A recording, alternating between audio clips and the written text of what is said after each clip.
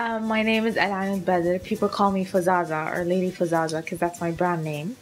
I'm a fashion designer and I'm here uh, with the Lux Beauty Gallery to basically um, it's sort of competition that's going on to to pick out the best designer the best showcases actually one of the lux uh, beauty gallery personalities.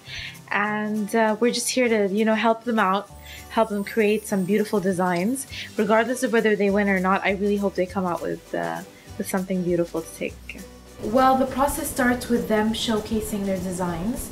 Each one chooses a personality um, they need to really pay attention with the personality they've chosen because the dress needs to reflect it um, in terms of color, fabric, cut, um, all these different details.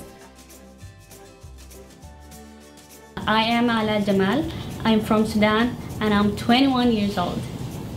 My name is Christine Lobo. I am 23 years old and I am from India. My name is Salma Yusuf. I am 25 years old. My nationality is Burma. اسمي زينب ألمين أنا من المغرب عمري 30 سنة uh, I found about it through the Facebook page and when I saw it uh, I said uh, why not I should give myself a chance and I thought it's a great opportunity أول شيء حبيت الفكرة حبيت إنه الفكرة المسابقة مستوحاة من البرودكت نفسه فكرة بتعطيكي أكثر إبداع. وأنا بحب اشارك في اي مسابقه في الفاشن يعني ان جنرال وهذه كانت فرصه حلوة يعني اعتبرها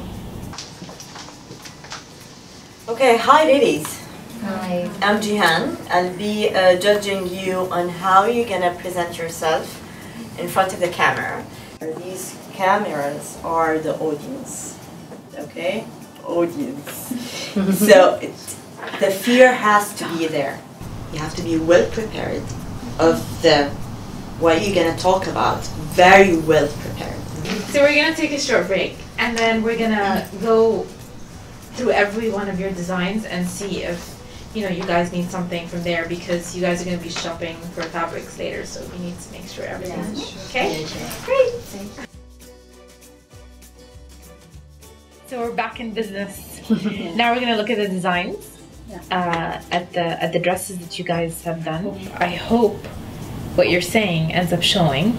But we're gonna wrap this up because we really have to go uh, fabric shopping. So.